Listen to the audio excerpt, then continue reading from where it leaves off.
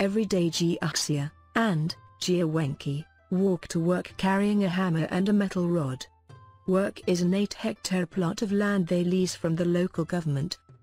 The route is a well-trodden one for them now, they've been heading to the same place for 13 years, and always with the aim to plant as many trees as possible in the area, to prevent their village from flooding and improve the environmental surroundings. The two went to school together as children in the small village of Yoli in northeastern China. Wenqi says they have always been like brothers. There is only a year between them, and they are very close. To get to their plot, Wenqi, a double-arm amputee, leads the way through a forest, guiding Haixia, his blind friend, who holds his empty jacket sleeve. When they reach the river, he gets on Wenqi's back in order to cross the fast-moving water without falling. I am his hands.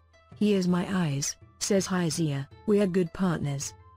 The elder of the two, Haixia, 54, was born blind in his left eye because of a cataract, and since a fragment of stone flew into his right eye during a factory accident in 2000, he has been totally blind.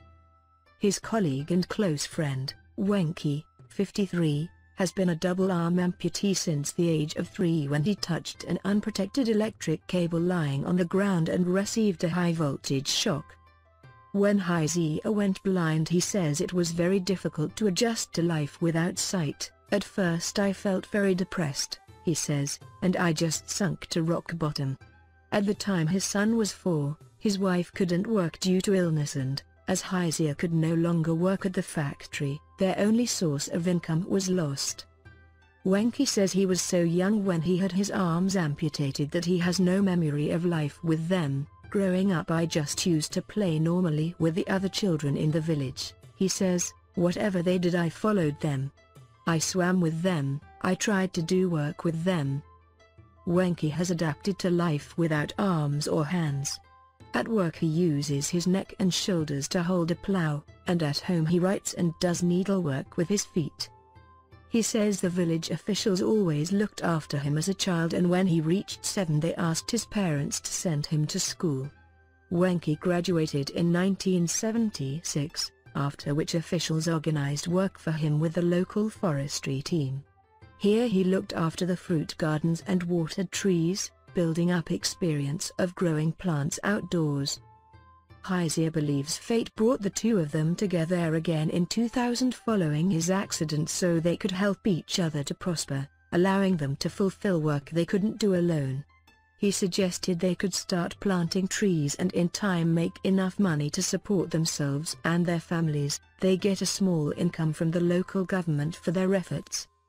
They are both passionate about the environmental benefits of what they do, but are aware that their disabilities limit the opportunities they have for employment.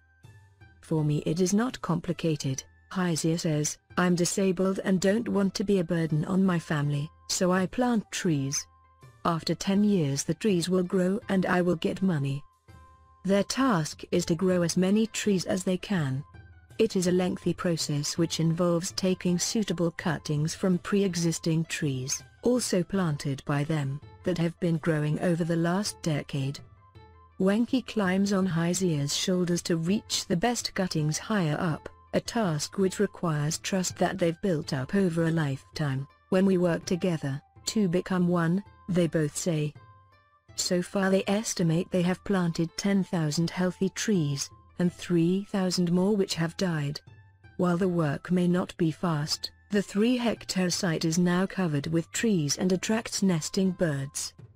When they began working together on the project, other villagers were cynical, Haixia explains, they didn't believe what we were doing was possible, he says, the whole riverbank had been bare for years and there were hardly any trees.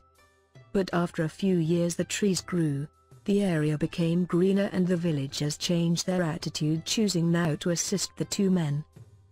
They help us to fix our tools, water the trees and trim the weeds, Haixia says, they even bought us saplings to plant. For Haixia, recent news from doctors means his blindness could soon be reversed. He is currently on the waiting list for a donor, having been told he is a suitable candidate for a cornea transplant. But if he does regain his vision, he is adamant he'll carry on planting trees with Wenqi. It doesn't matter if my eyesight comes back or not, I'm going to continue my work until my last breath, he says.